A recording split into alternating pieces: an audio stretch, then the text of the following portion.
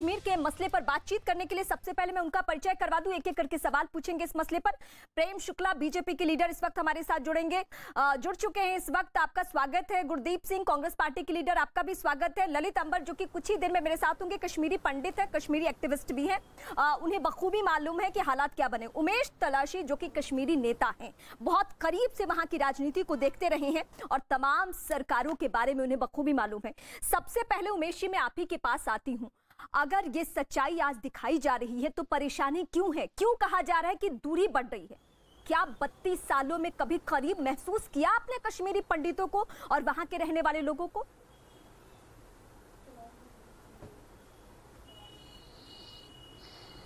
I'm not able to hear her. Umesh ji आप तक आवाज़। आ रही है? मैं फिर से जुड़ूँगी। आ, लेकिन इस बीच मैं कांग्रेस पार्टी से भी यही सवाल पूछना चाहती हूँ। गुरदीप सिंह जी हैं। गुरदीप जी क्यों इस सच्चाई से हम घबरा रहे हैं? क्यों सच्चाई से आँख नहीं मिला रहे हैं? ये सच है बत्तीस साल बाद ही सही स्वीकारना होगा हम सबको स्वीकारना होगा। नज़रें मिलानी होगी इससे।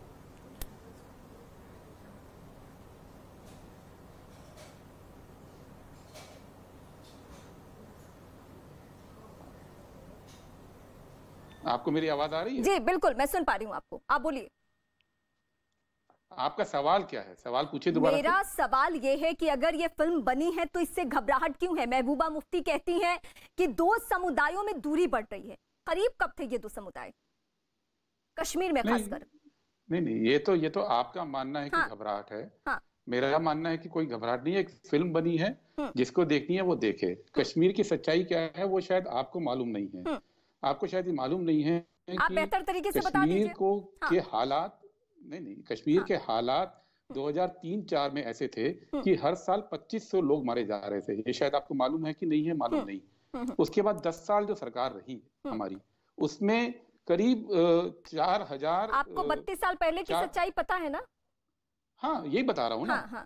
क्योंकि क्योंकि 2500 लोग मारे जा रहे थे हाँ. क्योंकि कश्मीरी पंडितों को घाटी छोड़नी पड़ी थी इसी वजह से भारत की जो सेनाएँ हैं उन्होंने उस पूरे पीरियड के अंदर जो काम किया आपको हम्म। नहीं मालूम होगा हम्म। चार हज़ार दो सौ नहीं मुझे क्या क्या मालूम है आज पूरे डिबेट में मैं बता दूँगी दर्शकों को। ना आप आप आपको आपको उन्नीस सौ नब्बे का कोई वाक्य नहीं मालूम है आप दो हज़ार चार में मेरे को लेके आएँगे और आप बार बार हर लाइन में कहेंगे मुझे कुछ मालूम नहीं है। पूरी होने दीजिए आपने टोक दिया शर्मनाक है ये कि आपको बत्तीस साल पहले क्या हुआ वो नहीं मालूम है। आपने मेरी बात पूरी होने दी। आप क्यों बार बार इस बात का ज़िक्र करें? आप बात कीजिए ना बत्तीस साल पहले उन्नीस सौ नब्बे में क्या हुआ?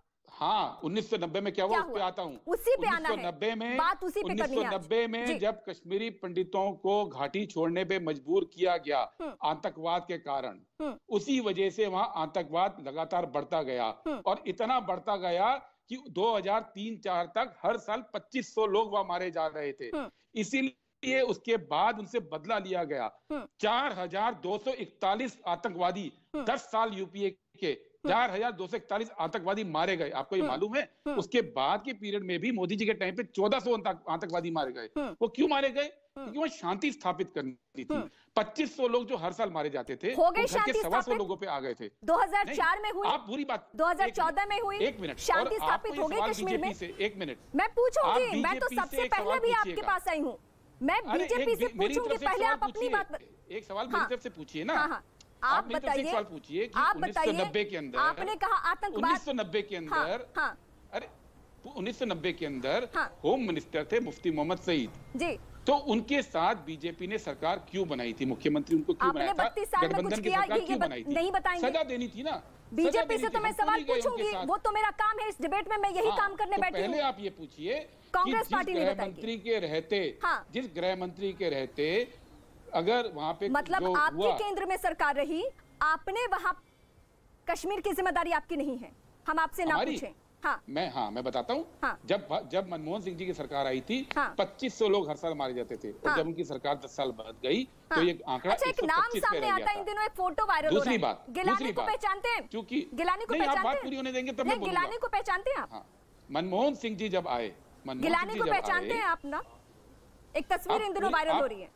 कश्मीर के मुद्दे पे आपने किससे बात की ये ये मैं समझूँगी लेकिन नहीं नहीं आप बात को तो घुमा रहे नहीं नहीं बिल्कुल नहीं। आप बात को घुमा रहे बीजेपी से क्या पूछना है? ये ये मैं तय कर लूँगी ना।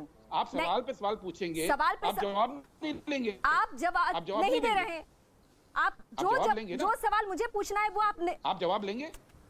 मैं दूसरे लीडर के पास जाती हूँ। उमेश जी अगर आप तक आवाज़ पहुँच रही है तो मुझे आपसे ये जानना है। नहीं नहीं मैं आती हूँ आपके पास। मैं और गेस्ट के पास नहीं जाऊँ। मैं और गेस्ट के पास नहीं जाऊँ। मैं गिलानी के मसले पर सवाल पूछूँगी। मनमोहन सिंह मुस्कुराते हुए गिलानी के साथ अगर तस्वीर उनकी है और, और उसी व्यक्ति से सिर्फ़ आप लोग बात करते रहे हैं कश्मीर के मामले पे। कांग्रेस पार्टी तो कम से कम ना बोले। कांग्रेस पार्टी की क्या भूमिका रही है? क्या पूछा मुझसे? वो मैं वाक्य बताऊँगी लेकिन अभी सारे गेस्ट के पास जाना है मुझे। सिर्फ़ अगर आपको चिल्लाना है उमेश जी और अगर बोलने नहीं देना है तो कोई फ़ायदा नहीं है महबूबा